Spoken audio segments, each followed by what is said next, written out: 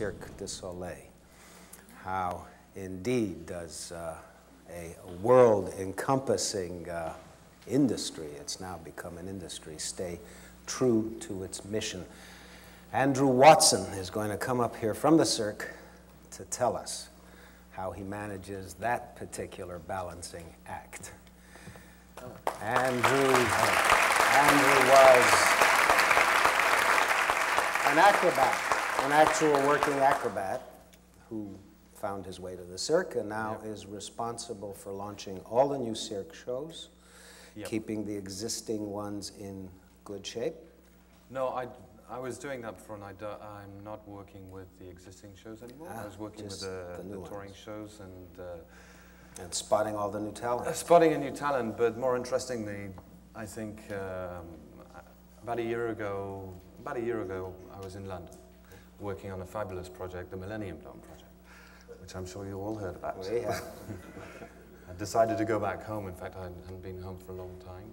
And Guy Laliberté came to uh, came to London because we were, he was looking to uh, work in Battersea Power Station and invited me to come back to Canada. I don't know if uh, I should sit and continue. Or, That's uh, yeah. all right. Why don't yeah. you carry it away? The stage is yours. Gee, I wasn't going to start there. Um, I started in circus um, I was invited to speak here a little while ago, and uh, ever since then, I don't speak publicly. Uh, I was a trapeze artist, and uh, we don't speak. Uh, apart from shout heads up. Um, uh, also with our shows, as I don't know if you've seen our shows, um, they're non-verbal and uh, a, vis a, visual performance. Um, so what I thought I would like to, to speak about to start with, um, as opposed to just speaking about the Cirque du Soleil, um, would be my start in, in circus in England in 1984 and why I fell in love with um, circus and had the opportunity to, to, to coin a phrase, to run away with the circus, and what it meant to me and uh, how it touched me, uh, and then to move on to the Cirque. Um, in 1984, February and March 1984, I was working in an office in London. I had the fantastic work of being an import buyer for a commercial stationery company. it's a likely start. And um, on Saturdays, I had a friend who was going down the Portobello Road, and um, he started fire eating and busking. And uh, so I was going down there on Saturdays and panhandling for him. And I decided, well, I would like to learn this also. So I learned a tiny little bit of this, and then shortly afterwards saw an advertisement in the stage, um, British theatrical newspaper, for Britain's first circus school. So I promptly, I went off to an audition, um, and when I, I walked into the, a barn where there were many people auditioning, and saw um, everybody auditioning on the different apparatus and knew at one stroke that this is what I wanted to do. And probably went to see the director and said, I would like to audition. He said, well, what can you do? And I said, I can fire it." And he said, everybody can do that. There was not a, not a very good start at all. So he said, I'm sorry. You know, so I went away and came back and went away and came back. And finally he said, well, what else can you do? And I grew up in the country, so I said, I can drive a tractor uh, and a trailer. And uh, I think he thought at this point, and, and I said, if you give me the chance to do this, I know that I'm going to be able to do it.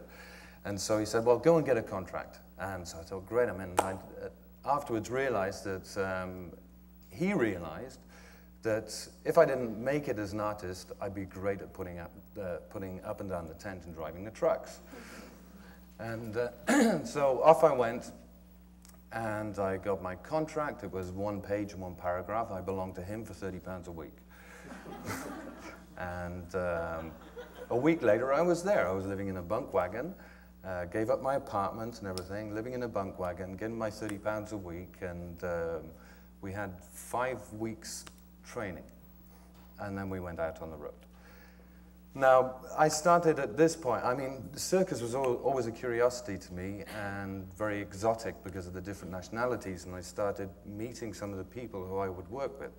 Apart from the 14 civilians, as you can call them in England, they call them jossers, there was Victor and Victor, uh, two Romanians. There was a, uh, the Flying Marlboros, who are an American trapeze act who uh, smoked Marlboros too.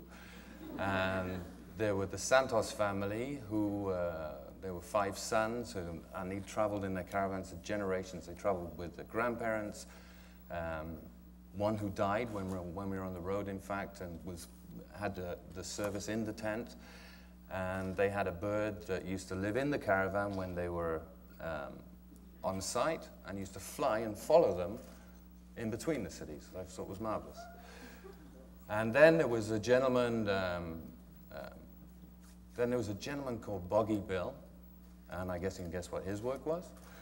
And uh, Kelly, who was a, um, a crazy Irishman who had worked on ships before and then got the job to put the tent up and down as a tent master. And um, a disabled gentleman who used to do the advanced publicity and uh, go from town to town. The advanced publicity was putting up the posters and putting up arrows as to how you get there. And there was a guy called Medini who was um, ex extravagant, extravagantly gay contortionist who was told, too old to do his business anymore but was making costumes. And I could go on, you know. It was absolutely fantastic. The mixture of the people that were there and um, the acceptance that there was uh, in this community for all of these people. I thought, this is fantastic. Oh, I forgot, there were the Falcons. There were five in fact, they were the first black South African um, circus troupe. And they'd managed to get out of South Africa and now had found themselves in a very cold uh, English mud show. And um, I later found out that, because they always sung Michael Jackson songs. And I always wondered why until I later found out that the Falcons was the name of Michael Jackson's Jackson 5 before they became the Jackson 5. So all these people, we trained for, for five weeks and we made a show. And I don't, in that time, there was no, we were working so much. We were working seven days a week and 14, 15 hours a day and hurting because all of us 14 civilians were learning to do many different circus acts and uh, uh, learning about makeup and uh, learning how to be on a stage. And it was really, really a, a crash course. And so I had no time really to reflect on what I was doing apart from really hoping I was going to make it because I really, I loved it. I loved all of these people and this crazy life, and it was a pretty brutal life. Um, totally changing, wa washing outside, uh, and it was in the winter, washing outside with a cold water standpipe, you know, and, uh, and living in a little bunk wagon where uh, you're only heating, your only heating was the, the, the you had a, like a gas ring in there, but unfortunately the bed was lower than the gas ring. So to get your feet warm, you'd have to lie on your bed and put your feet in the air. it was a whole change of life. So off we set, and true to, uh, true to uh, uh form, Gerry Cottle, who was uh, the circus director, um, we all were either leaving, driving trucks when we left, or we were um, city, uh, trailer mate in the truck and um, reading the directions. So we set off. Uh, we didn't set off. Before we set off, he said, okay, and your tractor and trailer's outside. And he'd taken me at my word, thinking I could drive a tractor and trailer, but a, a truck, tractor and trailer. And so I step outside and I have a 59-foot load with a tractor and a trailer. And I said, no, 59 foot and 9 inches. And I said, Gerry, this is totally illegal. You know, I mean, I have a, a driving license for a car. And he said, don't worry, it's 59 foot 9. If it's 60 foot, uh, you know, that's ridiculous.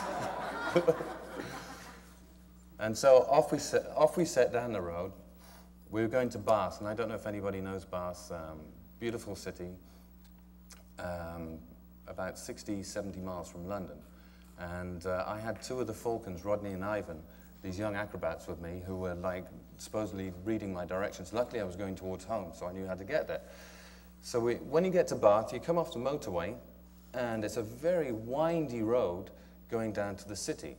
Not lit that much. Anyway, the lights gave out halfway down.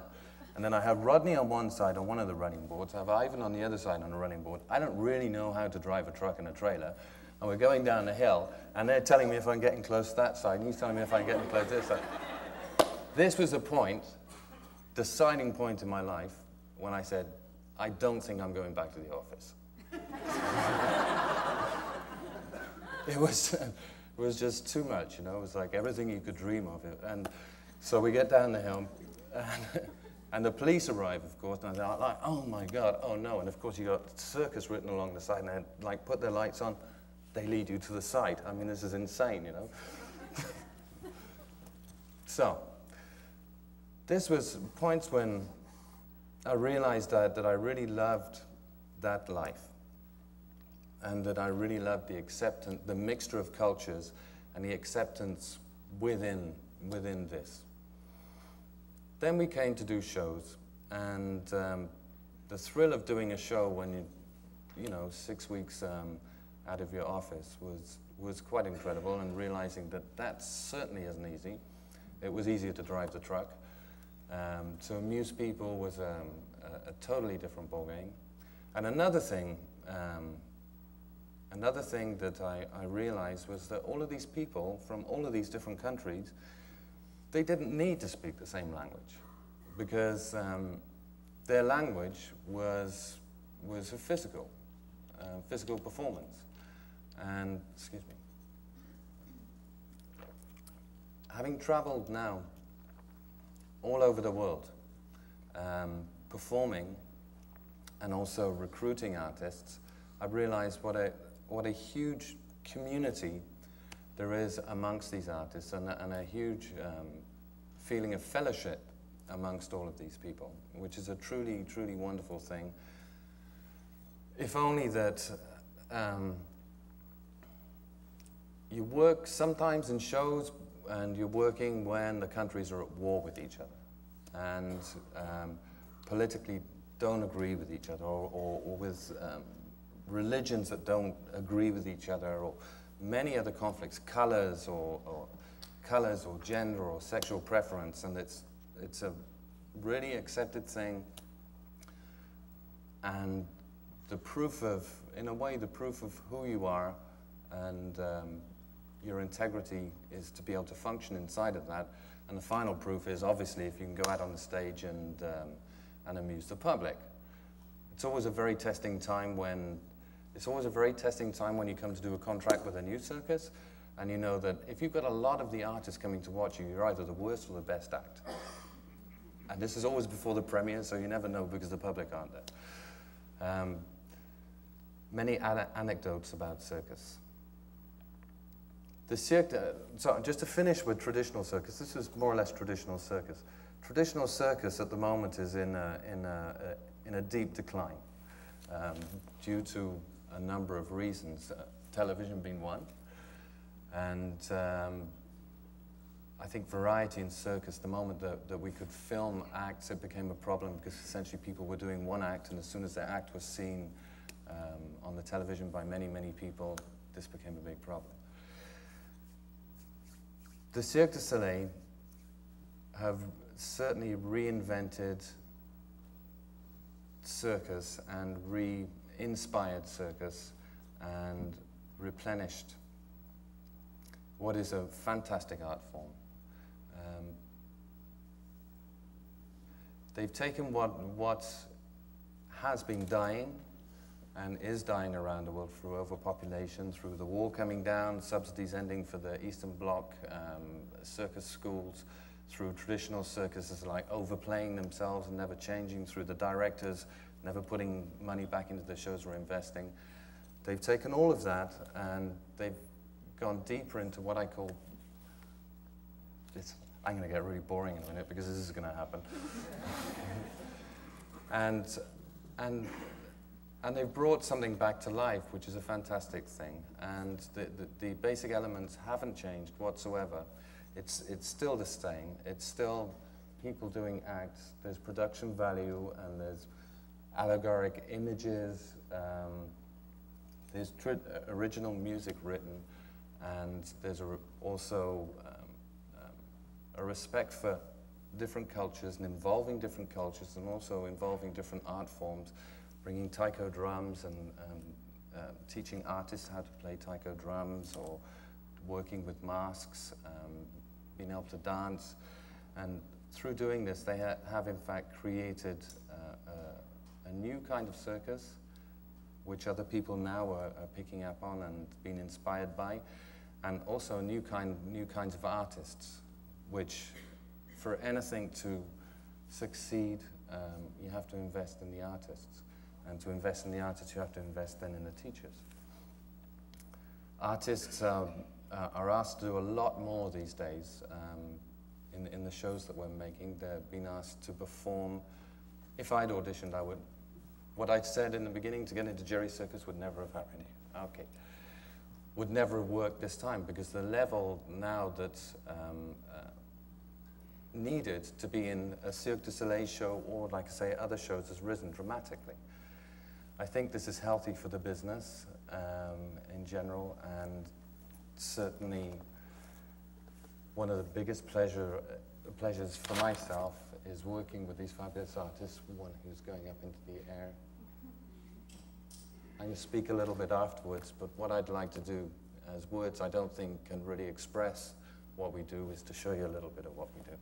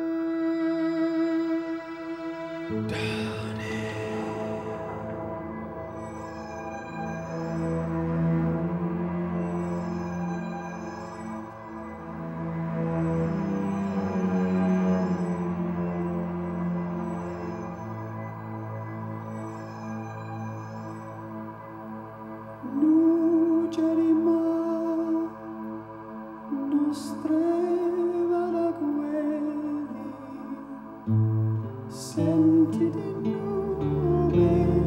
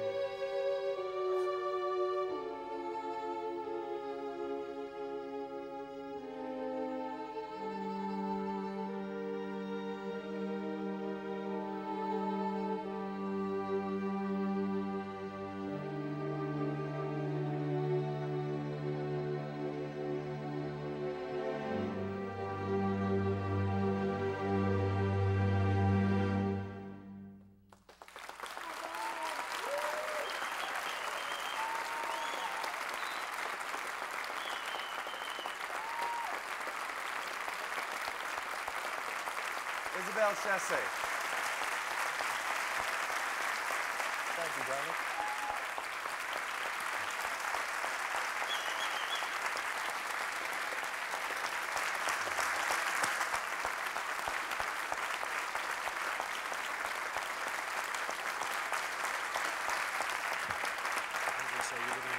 Tell us how that two came to be? minutes, yeah. Please, take on your time. Tell us how that came to be. Try and describe that. It's a nightmare. Um, so this is one of the favorite. I mean, out of all of the work I do, um, I'm creative director for the Cirque Soleil for the first time um, for a new show, as we started discussing. But um, this is absolutely one of my my passions um, because I know that it speaks to people.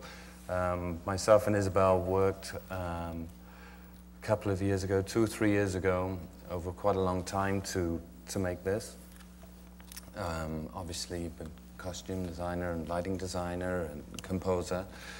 And um, from, I know for myself I didn't know I could do that.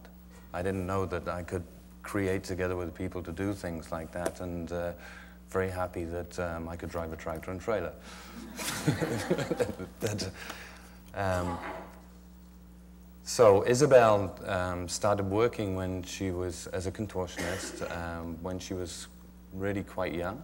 I don't know, uh, is it, Isabel still there? Maybe 10 years old, and um, was working in a, a, one of the first cirque shows, Nouvelle Expérience, with another three contortionists, and had only worked on the floor until we we decided that we would work together in the air. So it was a very new challenge for herself, and uh, I'm very happy for her, and uh, she's doing fantastically. And um, at some point, I'm sure she will want to um, have a new challenge. But through what I was saying is all of the training and development and the, the, the tools that we try to give people to learn not just to be uh, how to be directed on the stage, but also how to create themselves. Um, because people will work with the Cirque du Soleil, we will create shows, um, but afterwards, I think for, for our whole business to try and avoid maybe what happened with uh, and is happening with traditional circus is to uh, these people the future creators of shows. So hopefully we're giving our, our future a, a bright future. Um, yeah, one year ago in London, I'm going to finish soon, um, um, Guy Laliberté, who's the founding president or the owner of the Cirque du Soleil, um, felt, uh, asked me to come and meet him. So I went to meet him and he asked me to work on another project and it was very symbolic for himself that that um, they'd had a number of successes with, with their shows, with the creative team that, that they were using. Um, Franco and Gilles Sainte-Croix, who was the first, I'm the second creative director, he was the first, he's got big shoes to fill, um, to create a new show. It's sure the Cirque was going to create a new show, but um, as with um, circus, when you perform circus, you have to take risks, whether it's uh, a risk of falling or a risk if you're a juggler of looking like a, a, a klutz or and then having to be very human and try again or there's always risks involved every time that you go out on the stage and fundamentally that is uh, an appeal in circus and it's something that um, Guy has applied uh, to, together with his original creators with regards to their shows because my goodness the investment that they put into the cirque with no guarantee, with a big risk, and being like a complete front runner. And it paid off, obviously. And it paid off, and the company got bigger, and it's a corporation now, and there's quite a number of shows in the world. And so he decided, okay, he wants to go back to he wants to go back to the, the point of taking a risk again, and that is to ask me, who'd never been a creative director, done many positions in the cirque, from knocking in stakes to being an artist and all the way through, to assume the position of um, a creative director to find a new director and a new creative team totally, and to make a show that is different than the last shows. I said, yes, that would be great. then uh, it was probably about two months later, and I thought, well, how do you make a show that's different, that's already different than everything else? it's a, so this is my challenge and my uh, insomnia right now. Um, and um, we've just started creation, and uh, we have creative meetings at the moment, and I think it is taking a path which will be um, really different. And I know that the bar is very high, and the risks are very high also, because the bigger you get, the bigger, the more press are there to help you maybe if you stay being good, but otherwise they'll flatten you just like that. So that's me, Andrew Watson, and um, this is what I'm doing. I couldn't explain that in words, I'm sorry. And uh, thank you very much.